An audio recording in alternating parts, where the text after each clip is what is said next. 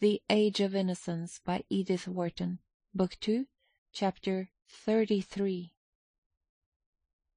It was, as Mrs. Archer smilingly said to Mrs. Welland, a great event for a young couple to give their first big dinner. The Newland Archers, since they had set up their household, had received a good deal of company in an informal way. Archer was fond of having three or four friends to dine, and May welcomed them with a beaming readiness of which her mother had set her the example in conjugal affairs. Her husband questioned whether, if left to herself, she would ever have asked any one to the house, but he had long given up trying to disengage her real self from the shape into which tradition and training had moulded her. It was expected that well-off young couples in New York should do a good deal of informal entertaining, and a Welland married to an Archer was doubly pledged to the tradition. But a big dinner, with a hired chef and two borrowed footmen, with Roman punch, roses from Henderson's, and menus on gilt-edged cards, was a different affair, and not to be lightly undertaken. As Mrs. Archer remarked, the Roman punch made all the difference, not in itself, but by its manifold implications, since it signified either canvas-backs or terrapin, two soups, a hot and a cold sweet, full décolletage with short sleeves, and guests of a proportionate importance. It was always an interesting occasion when a young pair launched their first invitations in the third person, and their summons was seldom refused even by the seasoned and sought after. Still, it was admittedly a triumph that the van der Luydens, at May's request, should have stayed over in order to be present at her farewell dinner for the Countess Olenska. The two mothers-in-law sat in May's drawing-room on the afternoon of the great day, Mrs. Archer writing out the menus on Tiffany's thickest gilt-edged Bristol, while Mrs. Welland superintended the placing of the palms and standard lamps. Archer, arriving late from his office, found them still there. Mrs. Archer had turned her attention to the name cards for the table, and Mrs. Welland was considering the effects of bringing forward a large gilt sofa so that another corner might be created between the piano and the window. May, they told him, was in the dining room inspecting a mound of Jacqueminot roses and maidenhair in the centre of the long table, and the placing of the Maillard bonbons in the open-work silver baskets between the candelabra. On the piano stood a large basket of orchids which Mr. van der Luyden had had sent from Skuytercliff. Everything was, in short, as it should be on the approach of so considerable an event. Mrs. Archer ran thoughtfully over the list, checking off each name with her sharp gold pen. Henry van der Luyden, Louisa, the Lovell Mingotts, the Reggie Chiverses, Lawrence Lefferts and Gertrude. Yes, I suppose May was right to have them. The Selfridge Merrys, Sillerton Jackson, Van Newland and his wife. How time passes! It seems only yesterday that he was your best man, Newland. And Countess Olenska. Yes, I think that's all. Mrs. Welland surveyed her son-in-law affectionately. No one can say, Newland, that you and May are not giving Ellen a handsome send-off. Ah, well, said Mrs. Archer. I understand May's wanting her cousin to tell people abroad that we're not quite barbarians. I'm sure Ellen will appreciate it. She was to arrive this morning, I believe. It will make a most charming last impression. The evening before sailing is usually so dreary. Mrs. Welland cheerfully continued. Archer turned toward the door, and his mother-in-law called to him. Do go in and have a peep at the table, and don't let May tire herself too much. But he affected not to hear, and sprang up the stairs to his library. The room looked to him like an alien countenance composed into a polite grimace, and he perceived that it had been ruthlessly tidied and prepared by a judicious distribution of ash-trays and cedar wood boxes for the gentlemen to smoke in. Ah, well, he thought, it's not for long. And he went on to his dressing-room. Ten days had passed since Madame Olenska's departure from New York. During those ten days Archer had had no sign from her but that conveyed by the return of a key wrapped in tissue paper and sent to his office in a sealed envelope addressed in her hand. This retort to his last appeal might have been interpreted as a classic move in a familiar game, but the young man chose to give it a different meaning. She was still fighting against her fate, but she was going to Europe, and she was not returning to her husband. Nothing, therefore, was to prevent his following her, and once he had taken the irrevocable step, and had proved to her that it was irrevocable, he believed she would not send him away. This confidence in the future had steadied him to play his part in the present. It had kept him from writing to her, or betraying, by any sign or act, his misery and mortification. It seemed to him that in the deadly silent game between them the trumps were still in his hands, and he waited. There had been, nevertheless, moments sufficiently difficult to pass, as when Mr. Letterblair, the day after Madame Olenska's departure, had sent for him to go over the details of the trust which Mrs. Manson Mingott wished to create for her granddaughter. For a couple of hours Archer had examined the terms of the deed with his senior, all the while obscurely feeling that if he had been consulted it was for some reason other than the obvious one of his cousinship and that the close of the conference would reveal it. Well, the lady can't deny that it's a handsome arrangement. Mr. Letterblair had summed up after mumbling over a summary of the settlement. In fact, I'm bound to say she's been treated pretty handsomely all round. All round? Archer echoed, with a touch of derision. Do you refer to her husband's proposal to give her back her own money? Mr. Letterblair's bushy eyebrows went up a fraction of an inch. My dear sir, the law's the law, and your wife's cousin was married under the French law. It's to be presumed she knew what that meant. Even if she did, what happened subsequently? But Archer paused. Mr. Letterblair had laid his pen handle against his big corrugated nose, and was looking down it with the expression assumed by virtuous elderly gentlemen when they wish their youngers to understand that virtue is not synonymous with ignorance. My dear sir, I've no wish to extenuate the Count's transgressions, but but on the other side, I wouldn't put my hand in the fire. Well, that there hadn't been tit for tat with a young champion. Mr. Letterblair unlocked a drawer and pushed a folded paper toward Archer. This report, the result of discreet inquiries. And then, as Archer made no effort to glance at the paper or to repudiate the suggestion, the lawyer somewhat flatly continued. I don't say it's conclusive, you observe, far from it, but straws show and on the whole it's eminently satisfactory for all parties that this dignified solution has been reached. Oh, eminently. Archer assented, pushing back the paper. A day or two later, on responding to a summons from Mrs. Manson Mingott, his soul had been more deeply tried. He had found the old lady depressed and querulous. You know she's deserted me, she began at once, and without waiting for his reply. Oh, don't ask me why. She gave so many reasons that I've forgotten them all. My private belief is that she couldn't face the boredom. At any rate, that's what Augusta and my daughters-in-law think, and I don't know that I altogether blame her. Olenski's a finished scoundrel, but life with him must have been a good deal gayer than it is in Fifth Avenue. Not that the family would admit that. They think Fifth Avenue is heaven, with the Rue de la Paix thrown in and poor Ellen, of course, has no idea of going back to her husband.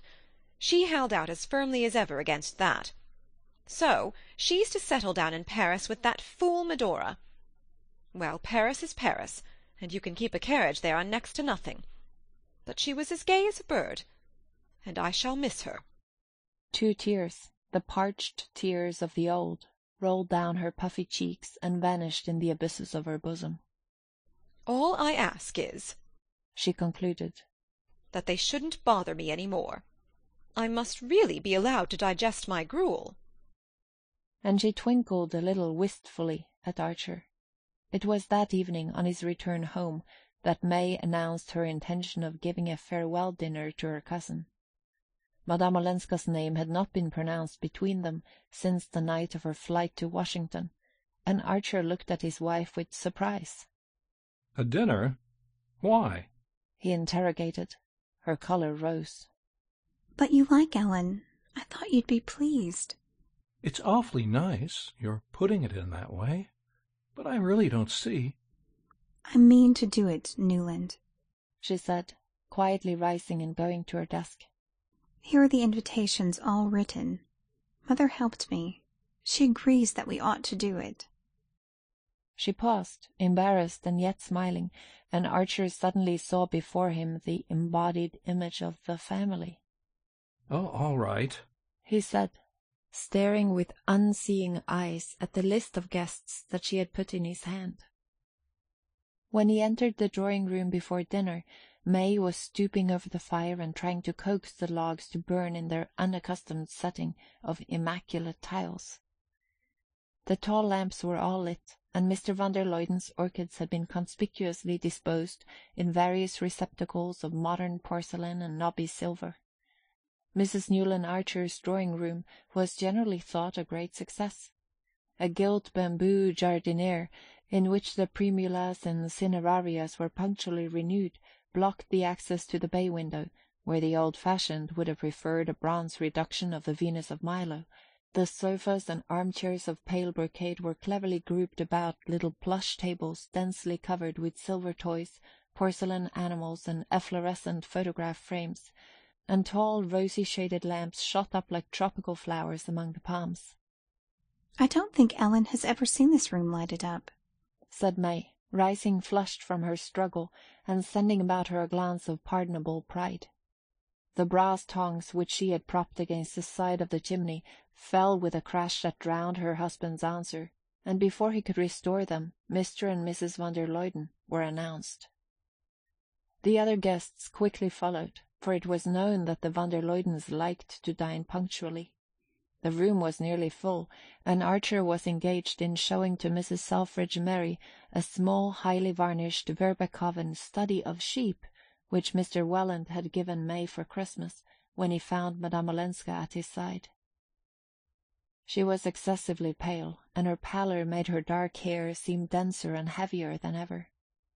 Perhaps that, or the fact that she had wound several rows of amber beads about her neck, reminded him suddenly of the little Ellen Mingott he had danced with at children's parties when Medora Manson had first brought her to New York.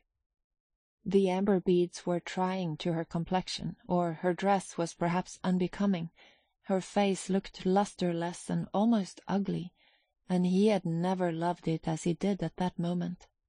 Their hands met and he thought he heard her say, Yes, we're sailing tomorrow in the Russia. Then there was an unmeaning noise of opening doors, and after an interval May's voice. Newland, dinner's announced. Won't you please take Ellen in? Madame Olenska put her hand on his arm, and he noticed that the hand was ungloved, and remembered how he had kept his eyes fixed on it the evening that he had sat with her in the little Twenty-third Street drawing-room. All the beauty that had forsaken her face seemed to have taken refuge in the long pale fingers and faintly dimpled knuckles on his sleeve, and he said to himself, If it were only to see her hand again, I should have to follow her. It was only at an entertainment ostensibly offered to a foreign visitor that Mrs. van der Luyden could suffer the diminution of being placed on her host's left. The fact of Madame Olenska's foreignness could hardly have been more adroitly emphasized than by this farewell tribute, and Mrs. van der Luyden accepted her displacement with an affability which left no doubt as to her approval. There were certain things that had to be done, and if done at all, done handsomely and thoroughly, and one of these, in the old New York code, was the tribal rally around a kinswoman about to be eliminated from the tribe. There was nothing on earth that the Wellands and Mingotts would not have done to proclaim their unalterable affection for the Countess Olenska, now that her passage for Europe was engaged; and Archer, at the head of his table, sat marvelling at the silent, untiring activity with which her popularity had been retrieved, grievances against her silenced, her past countenanced, and her present irradiated by the family approval. Mrs. van der Luyden shone on her with a dim benevolence which was her nearest approach to cordiality, and Mr. van der Luyden, from his seat at May's right, cast down the table glances plainly intended to justify all the carnations he had sent from Skuytercliff. Archer, who seemed to be assisting at the scene in a state of odd imponderability, as if he floated somewhere between chandelier and ceiling, wondered at nothing so much as his own share in the proceedings. As his glance travelled from one placid well-fed face to another, he saw all the harmless-looking people engaged upon May's canvas-backs as a band of dumb conspirators, and himself and the pale woman on his right as the centre of their conspiracy. And then it came over him, in a vast flash made up of many broken gleams, that to all of them he and Madame Olenska were lovers, lovers in the extreme sense peculiar to foreign vocabularies. He guessed himself to have been for months the centre of countless silently observing eyes and patiently listening ears. He understood that, by means as yet unknown to him, the separation between himself and the partner of his guilt had been achieved and that now the whole tribe had rallied about his wife on the tacit assumption that nobody knew anything, or had ever imagined anything, and that the occasion of the entertainment was simply May Archer's natural desire to take an affectionate leave of her friend and cousin.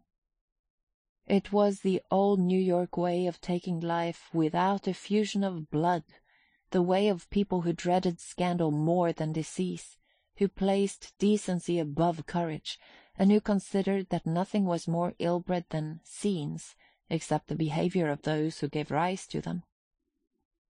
As these thoughts succeeded each other in his mind, Archer felt like a prisoner in the centre of an armed camp.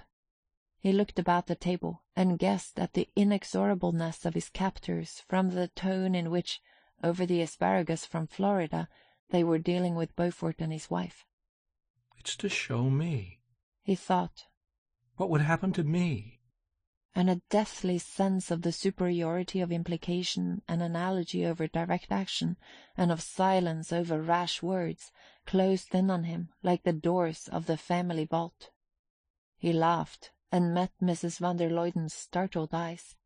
You think it laughable? she said with a pinched smile. Of course, poor Regina's idea of remaining in New York has its ridiculous side, I suppose and Archer muttered, Of course.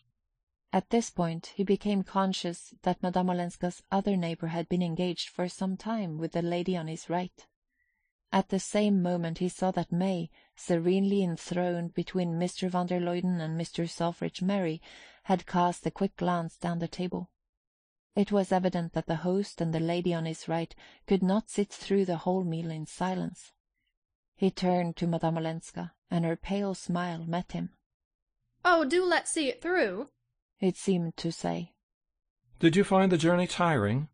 he asked in a voice that surprised him by its naturalness, and she answered that, on the contrary, she had seldom travelled with fewer discomforts. "Except, you know, the dreadful heat in the train," she added, and he remarked that she would not suffer from that particular hardship and the country she was going to. I never, he declared with intensity, was more nearly frozen than once in April in the train between Calais and Paris. She said she did not wonder, but remarked that after all one could always carry an extra rug, and that every form of travel had its hardships, to which he abruptly returned that he thought them all of no account compared with the blessedness of getting away. She changed colour and he added, his voice suddenly rising in pitch, I mean to do a lot of travelling myself before long. A tremor crossed her face, and leaning over to Reggie Chivers, he cried out, I say, Reggie, what do you say to a trip around the world? Now, next month, I mean. I'm game if you are.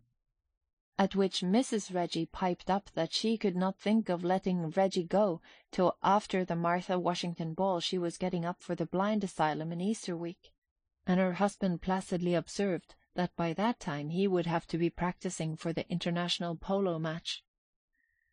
But Mr. Selfridge Merry had caught the phrase "round the world," and having once circled the globe in his steam yacht, he seized the opportunity to send down the table several striking items concerning the shallowness of the Mediterranean ports.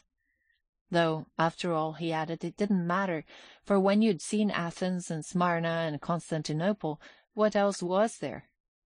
And Mrs. Merry said she could never be too grateful to Dr. Bencomb for having made them promise not to go to Naples on account of the fever. But you must have three weeks to do India properly, her husband conceded, anxious to have it understood that he was no frivolous globe-trotter and at this point the ladies went up to the drawing-room. In the library, in spite of weightier presences, Lawrence Lefferts predominated. The talk, as usual, had veered around the Beauforts, and even Mr. van der Luyden and Mr. Selfridge Merry, installed in the honorary armchairs tacitly reserved for them, paused to listen to the younger man's philippic. Never had Lefferts so abounded in the sentiments that adorn Christian manhood and exalt the sanctity of the home. Indignation lent him a scathing eloquence, and it was clear that if others had followed his example and acted as he talked, society would never have been weak enough to receive a foreign upstart like Beaufort. No, sir, not even if he'd married a van der Luyden or a Lanning instead of a Dallas. And what chance would there have been? Lefferts wrathfully questioned, of his marrying into such a family as the Dallases, if he had not already wormed his way into certain houses, as people like Mrs. Lemuel Struthers had managed to worm theirs in his wake. If society chose to open its doors to vulgar women, the harm was not great, though the gain was doubtful. But once it got in the way of tolerating men of obscure origin and tainted wealth, the end was total disintegration, and at no distant date. If things go on at this pace, Lefferts thundered, looking like a young prophet dressed by a pool, and who had not yet been stoned. We shall see our children fighting for invitations to swindlers' houses, and marrying Beaufort's bastards. Oh, I say, draw it mild. Reggie Chivers and young Newland protested, while Mr. Selfridge Merry looked genuinely alarmed, and an expression of pain and disgust settled on Mr. van der Luyden's sensitive face. Has he got any? cried Mr. Sillerton Jackson, pricking up his ears, and while Lefferts tried to turn the question with a laugh, the old gentleman twittered into Archer's ear. Queer, those fellows who are always wanting to set things right. The people who have the worst cooks are always telling you they're poisoned when they dine out. But I hear there are pressing reasons for our friend Lawrence's diatribe. Typewriter this time, I understand.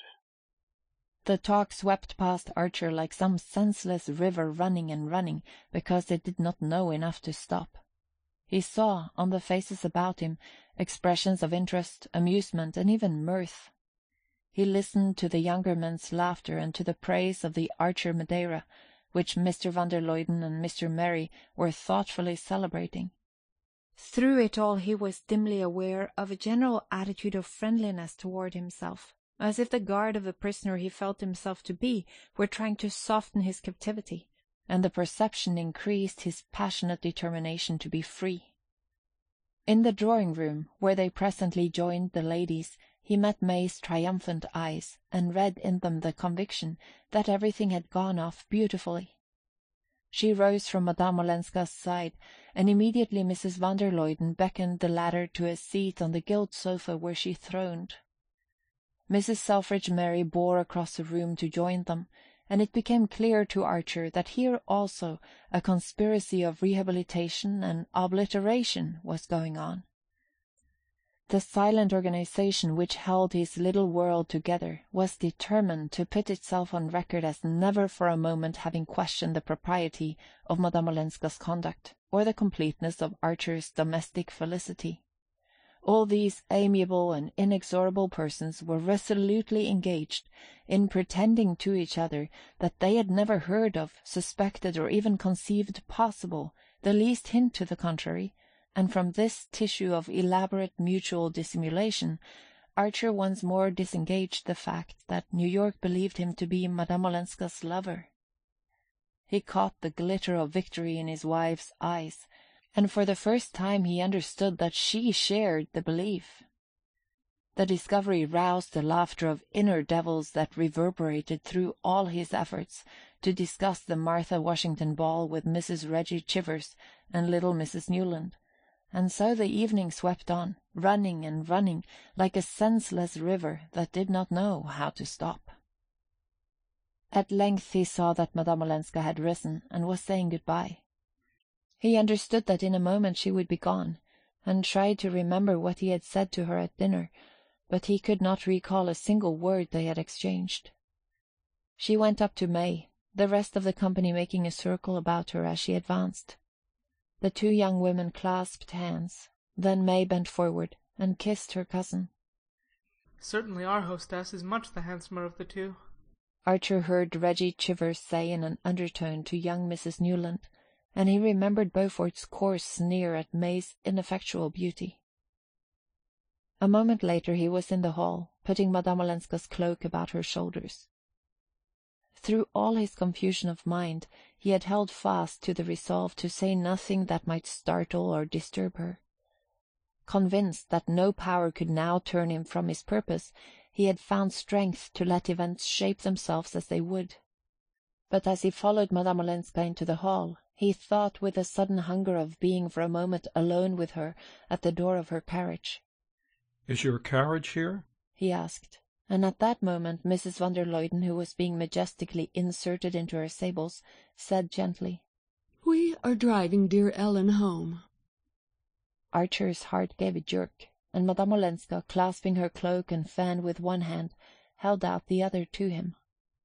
"Good-bye," she said. "Good-bye. But I shall see you soon in Paris," he answered aloud. It seemed to him that he had shouted it. "Oh," she murmured. "If you and May could come."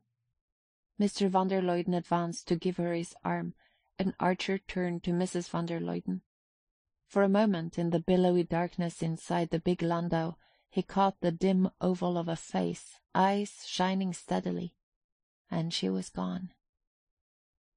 As he went up the steps he crossed Lawrence Lefferts coming down with his wife. Lefferts caught his host by the sleeve, drawing back to let Gertrude pass. I say, old chap, do you mind just letting it be understood that I'm dining with you at the club tomorrow night? Thanks so much, you old brick. Good night. It did go off beautifully, didn't it? May questioned from the threshold of the library. Archer roused himself with a start. As soon as the last carriage had driven away, he had come up to the library and shut himself in, with the hope that his wife, who still lingered below, would go straight to her room. But there she stood, pale and drawn, yet radiating the factitious energy of one who has passed beyond fatigue. May I come in and talk it over? she asked. Of course, if you like. But you must be awfully sleepy. No, I'm not sleepy. I should like to sit with you a little. Very well, he said, pushing her chair near the fire. She sat down, and he resumed his seat, but neither spoke for a long time.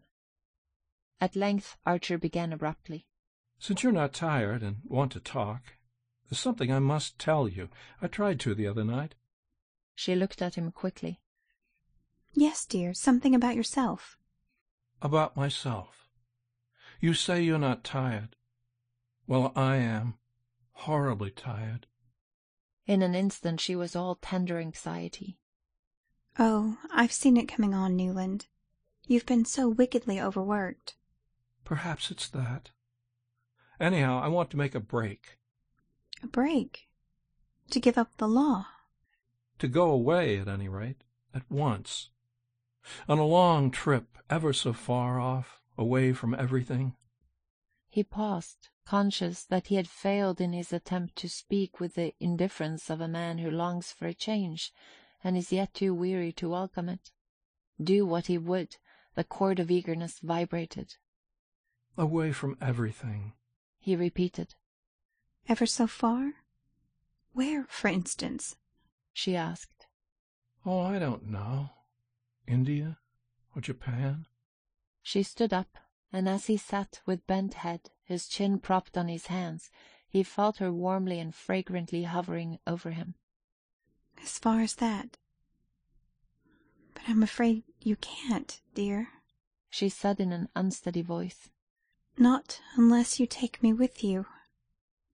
And then, as he was silent, she went on, in tones so clear and evenly pitched that each separate syllable tapped like a little hammer on his brain. That is, if the doctors will let me go. But I'm afraid they won't. For you see, Newland, I've been sure since this morning of something I've been so longing and hoping for. He looked at her with a sick stare, and she sank down, all dew and roses, and hid her face against his knee. Oh, my dear, he said, holding her to him, while his cold hand stroked her hair. There was a long pause, which the inner devils filled with strident laughter. Then May freed herself from his arms and stood up. You didn't guess? Yes, I, I know. That is, of course, I hoped. They looked at each other for an instant, and again fell silent. Then, turning his eyes from hers, he asked abruptly, Have you told anyone else? Only mamma and your mother. She paused, and then added hurriedly, the blood flushing up to her forehead. That is, and Ellen. You know I told you we had a long talk one afternoon, and how dear she was to me. Ah, said Archer, his heart stopping. He felt that his wife was watching him intently. Did you mind my telling her first, Newland? Mind? Why should I? He made a last effort to collect himself. But that was a fortnight ago, wasn't it? I thought you said you weren't sure until today. Her color burned deeper, but she held his gaze. No, I wasn't sure then, but I told her I was. And you see, I was right, she exclaimed, her blue eyes wet with victory. End of Book Two, Chapter 33 of The Age of Innocence.